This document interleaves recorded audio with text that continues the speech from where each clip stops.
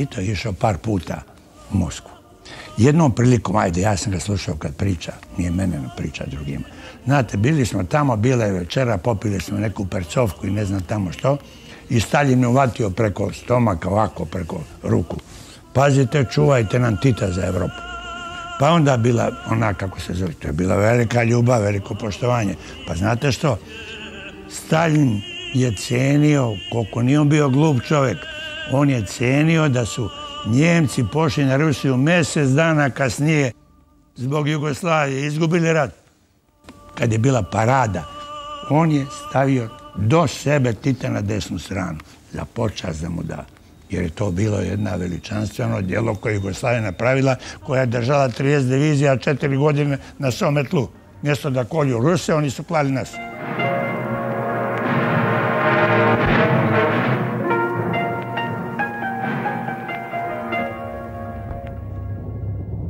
Pokojni 40.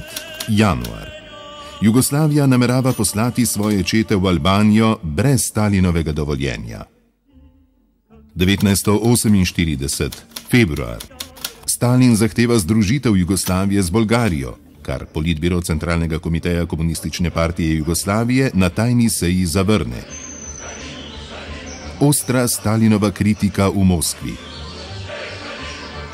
1948. 18. marec. Sovjetska zveza odpokliče vse vojaške in civilne strokovnjake iz Jugoslavije. I onda se skupljali svi ti istočnoevropski glavari. Dolazili kod nas, pa Tito kod njih, pa to se tako napravila veza. Rusima to nije odgovaralo. Oni su rekli našem ambasadoru Vidiću, red poručiti tvojima tamo da oni se malo smire, mnogo su se oni raširili, kaže, i razgoropadili. Znate što znači razgoropadili, kad se prešvaže? 1948, 20. marec. Združene države Amerike, Velika Britanija in Francija predlagajo dodelitev celotnega svobodnega tržaškega ozemlja Italiji. Jugoslavija se znajde v mednarodni izolaciji. To što se izgubila Trsti Gorica, znate, ja sam bio čak i učesnik eh, tih razgovora, ne tamo, nego ovdje, u Beogradu. Prisutan bio.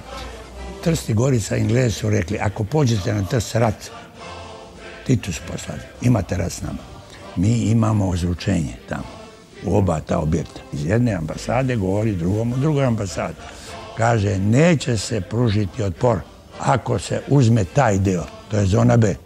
I ovaj odmah bio je Tito u Nišu, ja sam poslao taj telegram i on je 24 sata smesa armija ide i oni su pali jer je bio zatvoren i uzeta je zona samo na bazi tog razgovora, jer mi nismo htjeli da pomutimo odnose sa zapadom.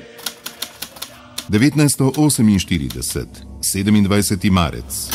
Stalin jugoslovanske voditelje v pismu obtoži najhujšega zločina, nepriznavanja primata Sovjetske zveze. Doda smrtno grožnjo. Doleti jih lahko usoda Trotskega in Buharina. Sledi zaostreno dopisovanje.